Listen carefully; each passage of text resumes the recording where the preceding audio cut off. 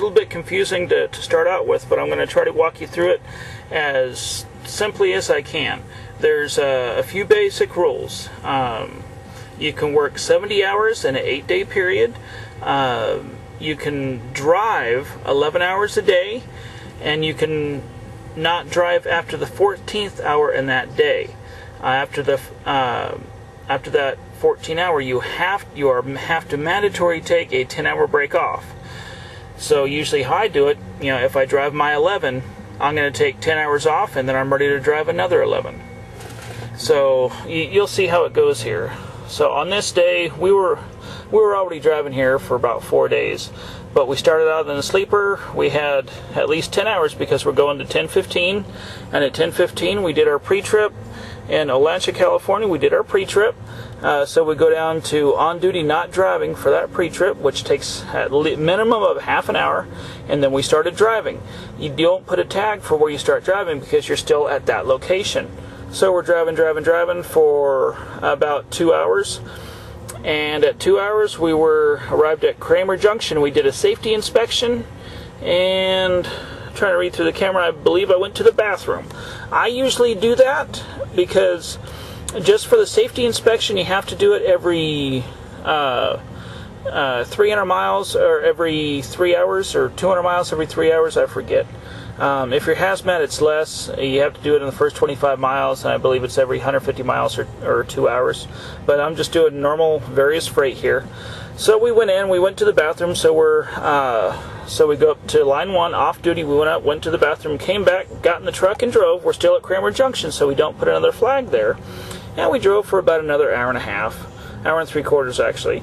And then we arrived at Rancho Cucamonga. We arrived and then we went off duty because once you arrive to the uh, shipper, you know, there's usually nothing to do until they get your truck in. So we were waiting, waiting, waiting. So we were off duty. We're not getting paid for that.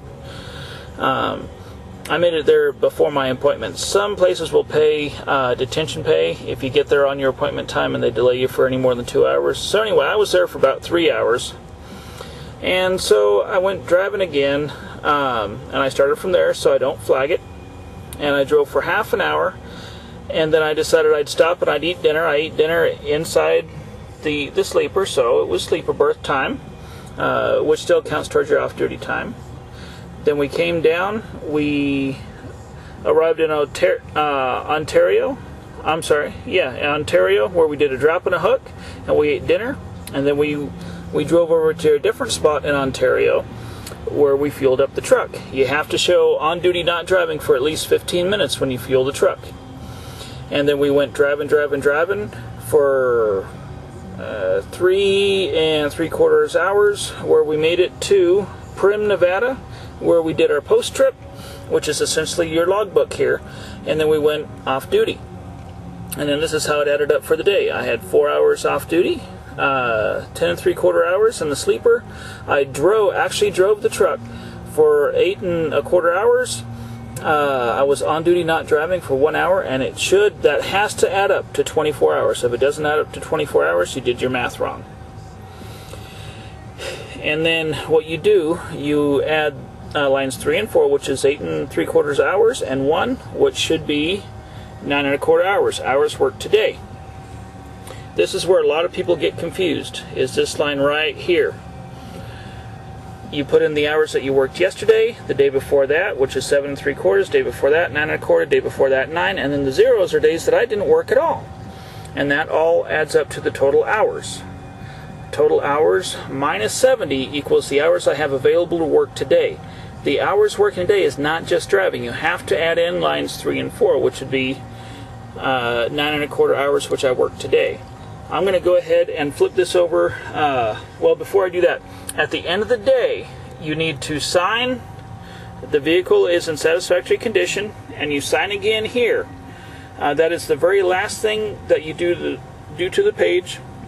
Just before that, you go up and you get your mileage for the day. If you're the only driver, the driver miles and the team miles should match. If you're not the only driver, then your driver miles plus your co-driver's miles will add up there. So I'm going to go ahead and turn the page here. Next day, 4-3, this is the very next day. Um, I only had one trip. I, I essentially went from Primm, Nevada, all the way over to Palisade, Colorado. Um, I drove uh, nine and a quarter hours. I had a half an hour where I did my pre-trip. I'm not going to take you through um, all the off-duty sleeper driving and on-duty time. If you want, you can pause your your browser as you go through this and see how I did it. Um, but what I want to do these pages for is we add up here that should be nine and three quarter hours.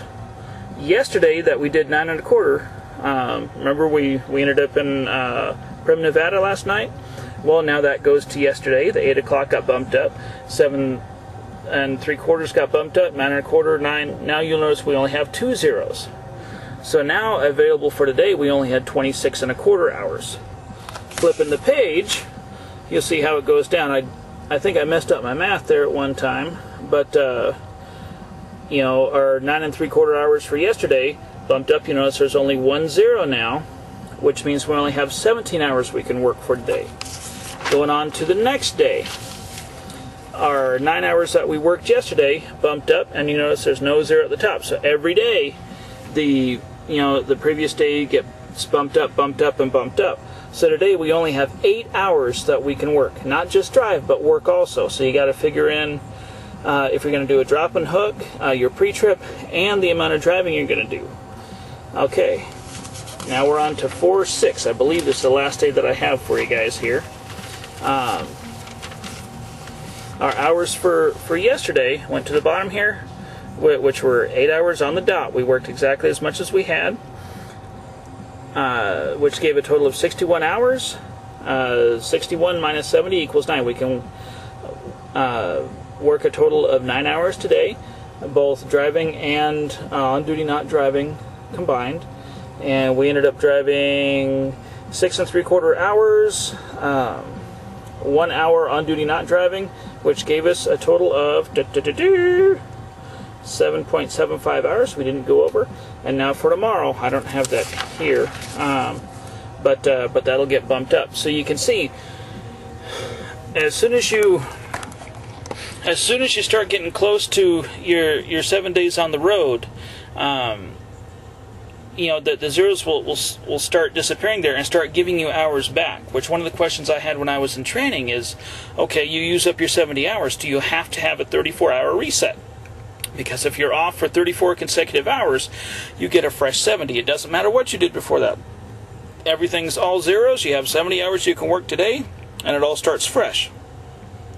Uh, the answer is at that eighth day, when you had that first day drop off, bam, you get that many hours back. You don't have to take uh, 34 hours off, which a lot of people, I believe, um, you know, understand that you do. You don't have to automatically take. Uh, uh, take 34 consecutive hours off. It helps because then you don't have to count hours so closely, and then you can go like a bat out of hell again. But a lot of times, um, you know, you're not doing 550 or 600 and you know whatever miles a day, uh, so so you don't need 11 hours.